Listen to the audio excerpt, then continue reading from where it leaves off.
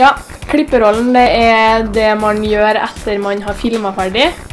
Så eh, da sitter jeg her og klipper. Og Lasse med bak meg og sier hva han vil og sånn. Og så ja, Jeg bruker Premiere, og jeg syns det er mye enklere å bruke det enn Final Cut. For eh, på Final Cut så er det mye rare ting du ikke kan gjøre, som, men som du kan gjøre i Premiere. da. Da er det mye enklere å sitte og klippe, og det er et ganske enkelt program å lære seg, da. Nei, jeg syns det er artig å se hvordan det, det på en måte formerer seg, eller hvordan du blir nærmere sluttresultatet.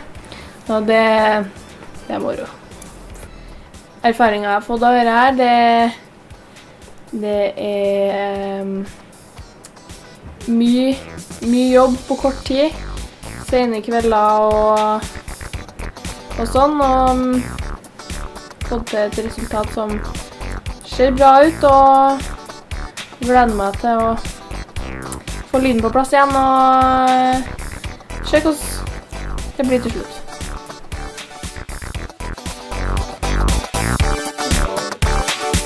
Vi tar opp tre ulike typer lyder. Eh, effektlyder, miljølyder og folielyder. Effektlydene er jo dem som er først og fremst de med store smellene. Miljølyder er de bakgrunnslydene, og foleylyder er de lydene som man egentlig ikke tenker over, men som er her. F.eks. som hus har klær som beveger på seg.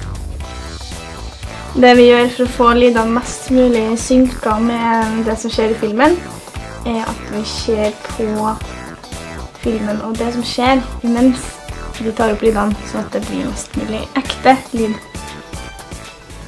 Skal vi eh, ha litt eh, ADR, eller Automated Dialogue Replacement. Så basically så har vi referanselyden vår og filmen her. Og i andre hjørnet så har vi skuespilleren vår, Remi. Og eh, han skal da spille inn all dialog. Å ja. Uh, oh, ja, ja, ja, for den, den, den Ja, spille inn all dialog på nytt ja. Sånn at det blir bra. Så det, det er planen. Det er ikke sikkert du hører på mikken når du får reversert.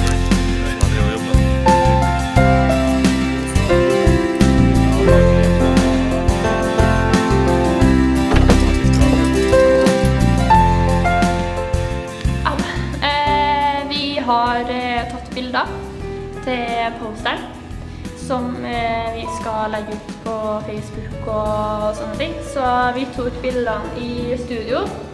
Eh, vi tok eh, low-key-bilder av en Remi som spiller Gisle. Så det er det vi har gjort. Så det er bare planen i hvert fall. Yeah! Så har vi fått at det Au! Det funker. Eh, Det vi skal filme i dag, det er pickups. Som da er shots som vi enten glemte av når vi var filma sist, eller som vi funnet ut nå mens vi hadde klippa at eh, vi skulle ha, ha hatt, eller noen ja, generelt shots da, som vi trenger til å gjøre ferdig klippen for at eh, det er noe som ikke flyter så godt, som vi da må ha noen ekstra shots til. Så da har vi dratt tilbake og lånt uh, Red-kameraet. Um, fikk låne en dag til, så da ble, i kveld så skal vi bare shoote ferdig alt det vi trenger. Og så kan vi da sette oss og klippe helt ferdig filmen til siste handling. Begynne å gradere, så kan vi begynne å gjøre musikk, så kan vi gjøre effekter, så er filmen ferdig. Så skal vi på kino. Så kan vi sitte der og se. Det går slik. Der er døren låst.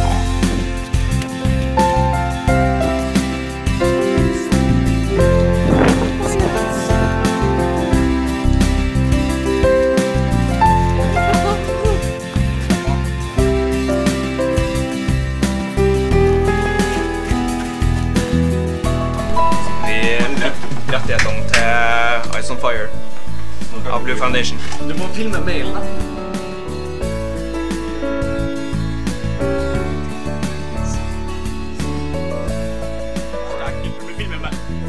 Cause they don't like me doing this now. She don't like to see my room going down.